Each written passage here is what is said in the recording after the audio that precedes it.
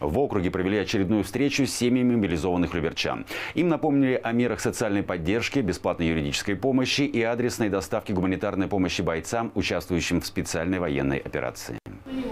Встречу провели в поселке Октябрьский. На ней присутствовали юристы, члены общественной палаты округа, представители духовенства, депутаты. Может, какие-то есть вопросы, проблемы, какая-то нужна помощь, э, поэтому мы постараемся из того, что мы можем, естественно, да, э, как-то э, чем помочь, посодействовать. Мужа Натальи призвали в начале октября. Прошел боевую подготовку и вместе со служивцами был отправлен в зону проведения спецоперации. Вопрос о том, что не пойти совершенно не стояло. Экипированы они полностью, сейчас никаких э, нет проблем. Единственное, что пока вот в последний момент, когда мы общались, еще э, не было конкретного места, где они будут э, находиться. И условия не очень, конечно, хорошие, но обуты, одеты, сыты – это самое главное.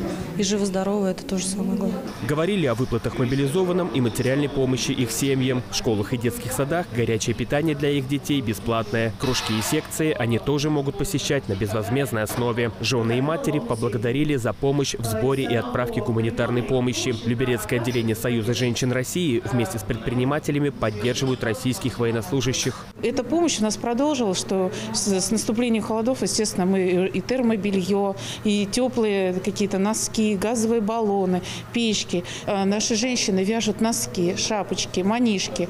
Мы упаковываем, туда кладем э, такой оберег русского воинства «Конь-огонь». Встречи с семьями мобилизованных люберчан в округе проводят регулярно. Многие вопросы решаются на месте. Богдан Колесников, Сергей Гвоздев, телеканал ЛРТ.